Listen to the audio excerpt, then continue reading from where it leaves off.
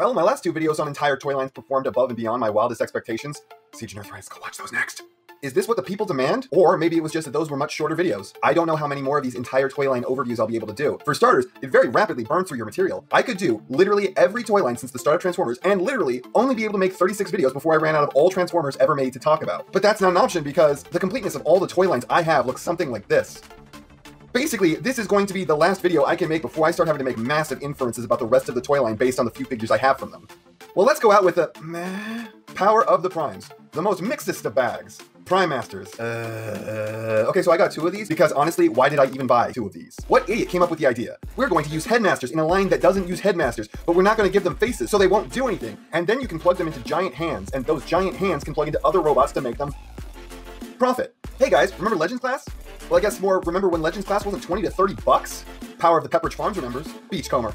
Took me a while to find this one. Turned out the store where I bought it moved where they were selling the Legends figures for Thanksgiving, so I accidentally stumbled across it when buying other stuff. A nice figure, it looks good in both modes, transformation is fun, but he does have this big old hole in the back of his alt mode. Slash. When I found out they were making a female Dinobot, I obsessed over it for the next few months. I couldn't wait to get my hands on this welcome new inclusion to the team. Not like that. God, why does everything have to be sexy? When I bought her, I was flat broke again, so I borrowed 8 bucks from a friend at work. I paid him back the next day in quarters. Figure's a little bit of a disappointment. Alt mode is a bit gappy, and I don't care for the head. I'd have preferred something a bit more angular. Shrapnel. A re-release of the Generations figure. Not bad, but not thrilling either.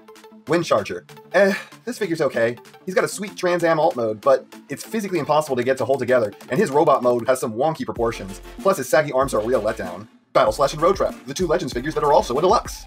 I thought for sure they were going to be the future of Legend Scale. The gimmick adds so much extra value to these guys, it's crazy. Unfortunately, it was not to be, apparently. These guys as individuals are okay. Battle Slash comes out way better than his all-too-wide counterpart, and while the gap in the front of his vehicle mode isn't great, it's way better than the pair of underwear hanging off the back of Road Trap. Cannot believe they didn't give him a Headmaster port in combined mode.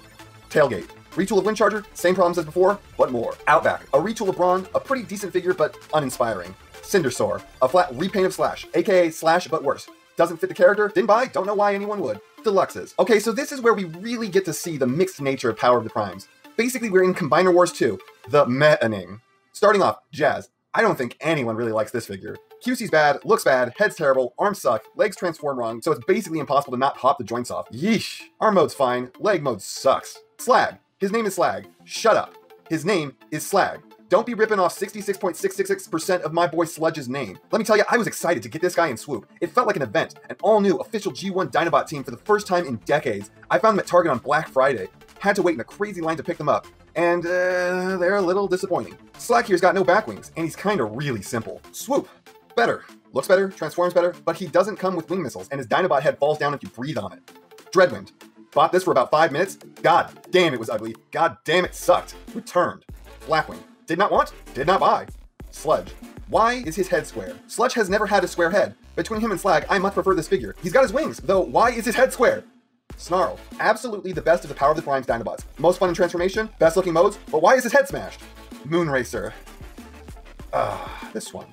I was really excited to get it. It's funny, when I was a child, I was pissed off there were girl Cybertronians. Now I'm like, hell yeah, bring on the girl bots. Get girls into the fandom. Welcome all. Sad to say, this is a very flawed figure, and I don't know that we needed five versions of it. As limbs go, it makes a pretty fantastic leg, very clean. Arms decent too, but I wish the legs were a little more substantial as a bicep. Ripper Snapper. At first, I didn't give a shit about any of the Terrorcons, but then I picked this one up, and damn, these are the standouts of the line. Really cool figures. This one's probably my favorite of the limbs. Twin. Am I the only one who thinks he looks like he's from an 80s German synthwave band? I'd have liked it if the alt mode heads posed a bit better, but he's fun. Blot. My second favorite of the limbs. He's just a cube of anger in various shades of purple. What's he supposed to be? No one knows! Cutthroat. Ah, yes. Head fall off boy. This is another German looking lad. Looks a bit anal retentive. He's a retool of Swoop. Somehow worse than the dude whose head can't stay up is the guy whose head can't stay on. Like the look of him though. Novastar, the only Wave 4 figure in the entire line. That means she's special. She get a special star. Her head is stupid. I want cool IDW head. Alright, the Voyagers. Oh god. Oh no. Oh god. Oh no. Grimlock. Oh, this here's a goofy figure. He is so weird. His tail is barely even trying to pretend. This is the best thing he can do. I must go, my people need me. This chest is the most loathsome bit of engineering in the whole line. The combined Volcanicus figure is also total garbo. You flat out require an upgrade kit to get this ugly thing into a state of not sucking. With the kit, he can actually be pretty cool. I like the Volcanicus head a lot. I don't like the intended combined order though. So I make the two burliest Dinobots, Slag and Sludge, the legs, because those are definitely the two who can withstand the weight of the rest of the team. Then the two most ostentatious ones become the arms. The overall look is impressive. Starscream. Yeah, I wasn't about to buy Popeye Scream. Boy, I really hates it.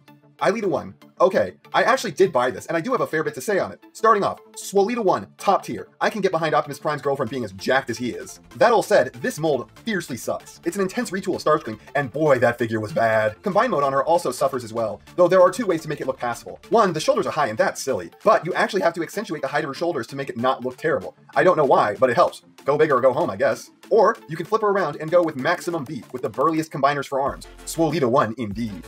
Hun-Gurrr. Now we're talking. This guy looks sweet. Yet another German lad here. I swear, these guys are a synth band. How did they manage to retool Silverbolt this much? Damn, they did an amazing job. And in combine mode, he's also the one figure that looks good with no caveats needed. Just the best combiner in the line. Inferno. I did actually get this, but the stupid animated chid made me trade it to a friend. Leader class. This is where it actually gets good. For whatever reason, in this line, they decided that leader class figures were going to be deluxes with power armor that turned them into leaders. Unlike with Siege, they meant the classical idea of leader class, as in figures as big as the Masterpiece line. Let's start with Rodimus a goofy hot rod with a distressing transformation that stresses the plastic disturbingly. It combines with the trailer in a not very fun sequence with a bit of parts forming. And in the end, you end up with this kind of goofy looking bot mode. Shoulders are in a weird place and are weirdly limited. It really wants to come apart on you, and it's just not all there. Optimus Prime. Now this here.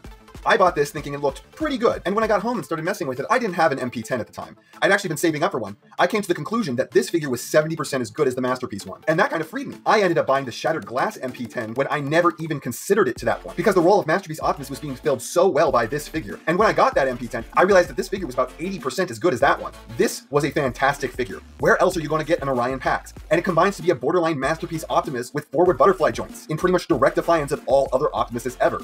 Rodimus Unicronus. A rare thing for leader class, a flat out repaint of a figure from a previous wave. It took all my willpower not to waste my money on this. Optimal Optimus. Not bad, not bad. I love the idea that it combines all three of Optimus Primal swarms regular monkey, gorilla on a skateboard, and big old mech. And he's the only one of the three that can be both the smaller and larger robots at the same time. This guy had it all. Not as good as the Prime, but pretty damn good. I did not buy Predaking. I find their design overdone, taxing to look at, and yet tedious at the same time. And I care 0% about the characters. And that's not half of what I have to say, but it's enough of what I have to say. So I know, you know, what everyone else tells you to do at the end of these videos. So if you like what you saw here, please do that. And if you'd like to take it a step further, then please share this video with any friend you think might be interested. I hope you all enjoyed listening to me waste your time.